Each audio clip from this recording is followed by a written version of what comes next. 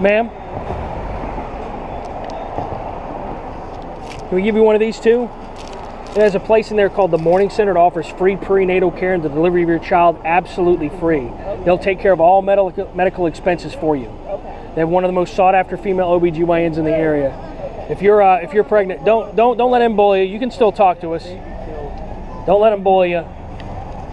Don't let them bully you. Yeah, don't don't let him bully you. He has no Savannah. He has no regard for human life. If you're pregnant or anyone in that vehicle is pregnant, you need to get out of this place. They murder babies in the womb here. Savannah, take that to her. Tap on her window.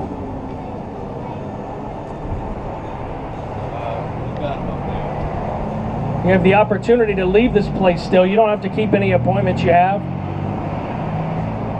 They take the lives of children in this place. Let this be a Christmas worth celebrating and not a Christmas where you look back onto, onto taking the life of a child in the womb.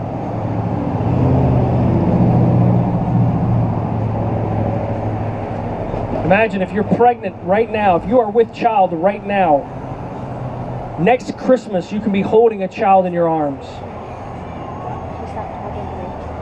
Next Christmas you can be holding a baby in your arms.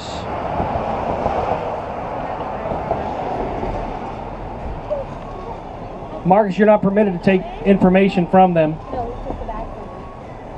You're not permitted to take those bags from them, Marcus.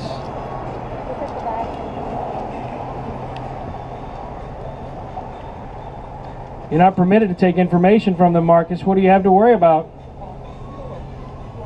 What do you have to fear? Here's the truth. Glad I got that on camera.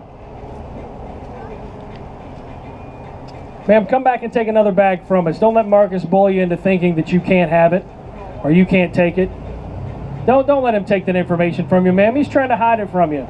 He's reaching into your car all over your business and everything. That's your private property. He, he's not even a police officer. Don't let him do that. He's reaching into your private property, invading your space.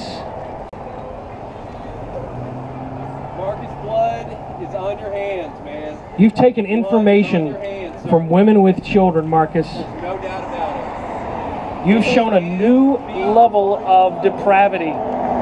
Tell him to give us our bag back. You have shown a new level of depravity, Marcus, taking information from them. You know, I stand by what I didn't want to stand by weeks ago when you used the word coward. That was cowardly, Marcus.